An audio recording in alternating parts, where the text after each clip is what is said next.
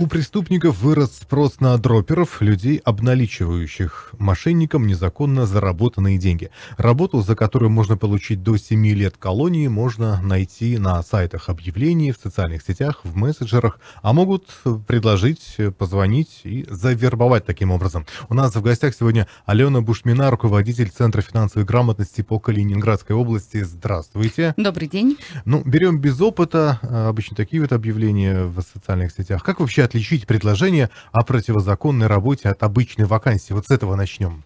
Ну, вы правильно сказали, без опыта, без образования, без договора, то есть обычно это неофициальное устройство, и особо ничего делать-то и не требуется.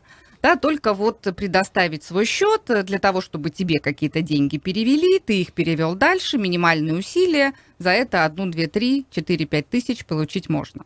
То есть еще раз конкретно, кто такие э, эти люди?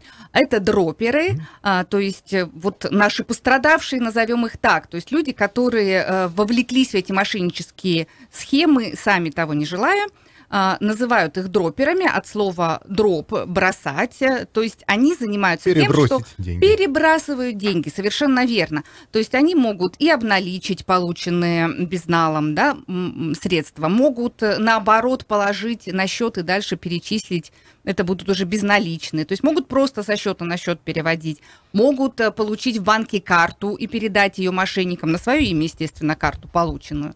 Ну, простой человек подумает, да что там, господи, подумаешь, со счета на счет что-то там перекинул. А сделал это и забыл, кстати, потом же через полгода может аукнуться. А какие вообще бывают схемы, что мошенники предлагают сделать людям и за что? А, ну, в основном попадаются, мы сейчас говорим о подростках, а, то есть э, дети, они еще не сталкивались с работой, не устраивались на работу, вообще не понимают, что это такое может быть. И поэтому они читают объявления, то есть, эм, допустим, решили они подзаработать на собственную игровую приставку и видят такие объявления. А, нам нужно э, перечислять выигрыши в лотерею. Вот мы нанимаем человека, который будет заниматься тем, что будет перечислять небольшие суммы людям, которые выиграли в лотерее. Ну, вообще безобидно, конечно. Звучит безобидно, да, но э, должно насторожить то, что э, договор обычно не заключается на такую работу. Э, и потом э, очень сложно найти концы, то есть кто тебя нанял на работу, с кого мы будем взыскивать а приходит э, полиция. Фигурант да. у нас получается известный единственный человек, да, да, своим счетом. Потому что первый, кого находят, если пострадавший от мошенников, от социальной, допустим, инженерии, мошенники человека развели, он свои э, деньги перечислил, он же не на счет мошенника их перечисляет, он перечисляет вот э, на счет такого третьего несчастного пострадавшего лица, которого сразу полиция вычисляет, как только пострадавший в нее приходит. Потому что все счета у нас оформляются, там паспортные данные, вычислить человека не составляет труда. Но ответственность в любом случае до 7 лет колонии, вот пишут. Да, миллион э, штрафа, 7 лет колонии, да еще и те деньги, которые вам пострадавший перечислил, ну, дроперу перечислил, скажем так, да, а, эти деньги тоже надо возместить, а они обычно у дропера не задерживаются, то есть они их перечисляют дальше. То есть можно по уши влететь, а, абсолютно по уши. А какая ответственность, вот помимо того, что 7 лет, да, еще потом будет необходимо вернуть эти деньги? Да, да. да. Ну, естественно, что там уже банки никакой кредит и ничего вам не выдадут. То есть это вообще свою банковскую историю можно подпортить очень серьезно. А вот э, родителям на что нужно обратить внимание? Сейчас а, ведь у каждого есть, э, у каждого ребенка есть карта, потому что это просто, а то и не одна, да? Или человек должен открыть новый счет? Или вот это а, тоже ну, пойдет? Вообще, который... да, вы, вы правы, что дети уже могут получать карту с 14 лет по э, хорошему, по закону, согласия родителя. Но сейчас э, те, те тех, технологии пошли далеко вперед, и поэтому онлайн можно оформить карту, и вроде бы как вот ты паспорт прислал, тебе 14 лет, ну все, уже можешь карту получать. А, и карты мы можем получать в разных банках, то есть, ну вот банков сколько существует, десяток легко можно получить. Да, mm-hmm. то есть вот, вот ходи и получай. Ну, естественно, мы сейчас рассказываем а, о том, как это могло бы происходить в идеале, да, этого делать нельзя, потому что это плохо. Но, тем не менее, такие случаи есть. Вот вы, как представитель Центра финансовой грамотности, проводите уроки финансовой грамотности в школах. Это как раз та самая целевая аудитория. Вот а, Что дети говорят по этому поводу? Кто-то из них сталкивался? Как А. вы понимаете, что они уже в деле? А, ну, э, к счастью, наверное, детей прямо в деле мы на своих занятиях не встречали. Ну, возможно, нам просто не, не захотели рассказывать даже тех, кто себя, те, кто себя в этих схемах опознал. Но, тем не менее, как минимум говорили о том, что предложения такие э, разнообразные э, о том, чтобы использовать счет или банковские реквизиты, детям поступают. То есть вот об этом дети говорят, да, головами кивают, да, мы, мы об этом слышали, мы об этом знаем. А, то есть, когда заходит разговор на эту тему, то глаз горит, Мгм.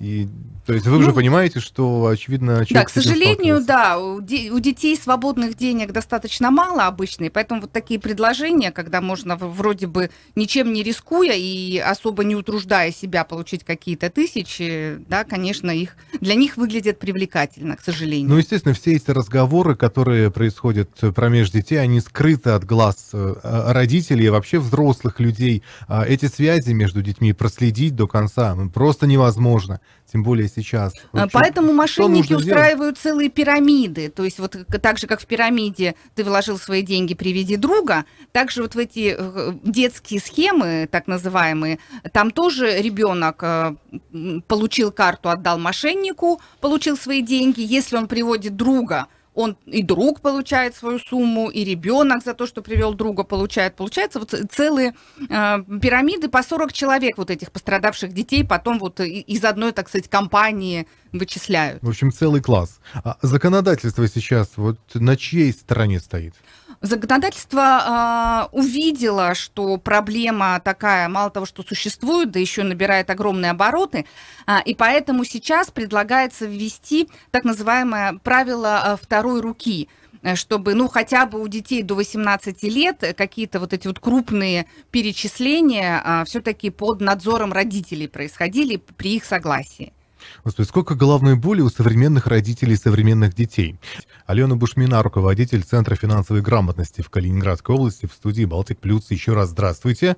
Добрый день. И говорим мы о том, что у преступников вырос спрос на дроперов, людей, обналичивающих мошенникам незаконно заработанные деньги или перебрасывающую их э, со счета на счет, задействуя свой личный счет. Берем без опыта, обычно такие вот объявления развешивают в интернете мошенники, и к ним приходят ну, взрослые люди. Ну, и самое обидное, это, конечно же, дети наши. А если взрослый человек вот еще Ну, может, в имеет чем-то сомневается, разум, да. да, но дети а- абсолютно пока не умеют э, критично мыслить, и поэтому в этот момент э, критически, критическое мышление за двоих должны как-то ощущать э, родители, потому что ответственность до 18 лет лежит на Да, родителях. материальное в том числе. Поэтому разговоры с детьми о деньгах, о вот этих возможных мошеннических схемах надо начинать даже не в 14, когда ребенок уже к вам пришел и говорит, пойдем откроем мне карточку. А можно лет с 12 уже говорить о том, что да, у тебя будет скоро карточка, и поэтому а, ты должен соблюдать правила безопасности. Ни в коем случае не передавать ее никому в руки.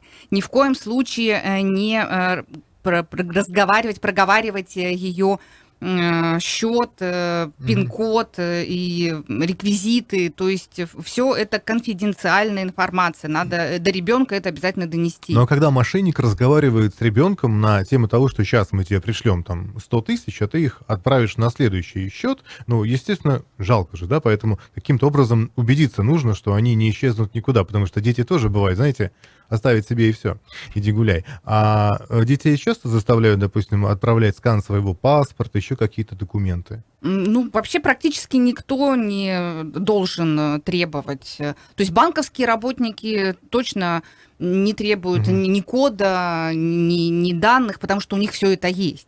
То есть, ну, про- очень мало ситуаций, когда действительно понадобилось бы вот э, де- детям предоставлять э, куда-то свои документы или реквизиты своей ну, карточки. пусть будет так, да, что ребенок согласился там подзаработать 5-10 тысяч на то, что А ему вот там надо, вот- чтобы не согласился. А вдруг, ну, уже все, согласился, потому что мы говорим сегодня о, о, о фаталите и о том, что очень сложно соскочить из этой схемы Мгм. потом. А в чем трудность заключается? А, ну, дело в том, что если ребенок согласился, ему на счет поступили деньги, скорее всего, это деньги от какой-то бабушки, которую мошенники развели, сказали, что ваш внук пострадал в аварии, нужно срочно перевести деньги. А, на следующий день дети этой бабушки выясняют, что бабушку обманули, они идут в полицию, и в полиции сразу же запрос в банк, и банк предоставляет все данные этого ребенка. Куда поехали эти деньги? Эти деньги поехали на счет к этому ребенку, все, ребенок уже э, Соучастник. соучастник, да. Мгм. А и вот что в этот момент нужно делать родителям? Вот если А, приходит ну, дяденька да, милиционер, Ну, если приходит милиционер, он уже скажет все, что Да. им нужно будет делать. А, может быть, э, а, стоит донести до ребенка, что если все-таки он какие-то вот эти финансовые операции провернул, а, то обязательно надо родителей известить. Если родители поняли, что с карточкой ребенка происходит что-то не то, во-первых, сразу ее блокировать. Это первое, что нужно делать. Вообще, если вам кажется, что что-то не то с вашей карточкой, да, то есть какие-то действия с ней происходят, блокировать. И потом уже, ну, по-хорошему идти в полицию и, и говорить о том, что вот э, такие действия были с реквизитами карты ребенка или с картой ребенка. Но я вот слишком консервативно отношусь к, сов- к современным вещам, особенно вот к этим карточкам, к банковским всяким вещам, да. Вот, э, может быть, вообще действительно детям давать вот чисто такие рубли бумажные. Проще, спокойнее. Ну, спокойно. э, ну, опять же, онлайн можно открыть карточку Да. и без ведома родителей. То есть, э, вот если закручивать гайки, это не значит, Мгм, что мгм, ну, мгм. ребенок никогда не совершит никаких... Все-таки нужно действий. вести доверительные, Это, конечно, насколько это оптимально. возможно, Да. разговоры со своим Да, ребенком, да. чтобы Причем чем раньше начинать, тем лучше. знать эти шаги, когда он захотел заработать. Да, и, и чтобы ребенок с любой информацией, которая касается финансов, шел с вами. То есть, если он пострадает, э, чтобы вы были первым, кто об этом узнает. Мгм. Что еще в школе говорят?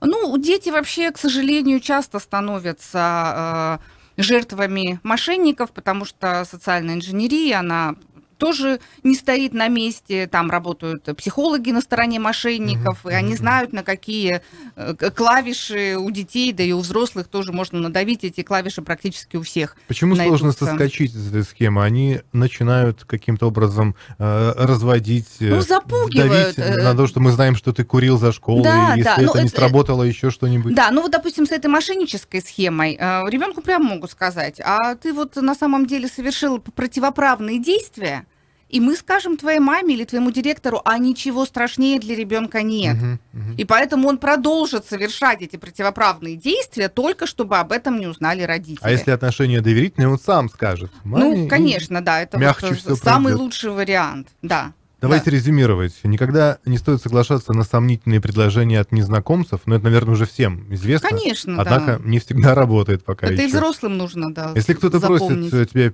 провести какую-то банковскую операцию с деньгами, всегда обращаться в свой банк за советом. Так советуют в интернете. А, Так. ну, прежде всего, не беседовать э, с мошенниками. Вообще, если вам звонят, ну, пор- послушайте, как вам представились, да, банковский э, сотрудник или сотрудник каких-нибудь служб, повесьте трубку и перезвоните в этот банк или в эту службу. Да. Ну, конечно же, что касается устраиваться на работу, это нужно делать официально, потому что сейчас уже очень много плюсов из-за этого. И все-таки не нужно бояться оказывать чужим людям в помощи на самом деле. Э, Мне кажется, ну когда тебя просят вот э, о чем-то на улице, Ну, бабушку перевести бабушку через Да, дорогу, да, да, конечно, просто- стоит. все, что касается Да. финансовых э, действий, тут, тут уже пом- между помощью и преступлением, как мы видим, грань очень И тонкая. самое главное, старайтесь всегда повышать свою финансовую грамотность. В этом вам помогут в Центре финансовой грамотности, руководитель которого и была сегодня в студии «Балтик Плюс» Алена Бушмина. До скорых и радостных встреч. Спасибо за внимание. До свидания.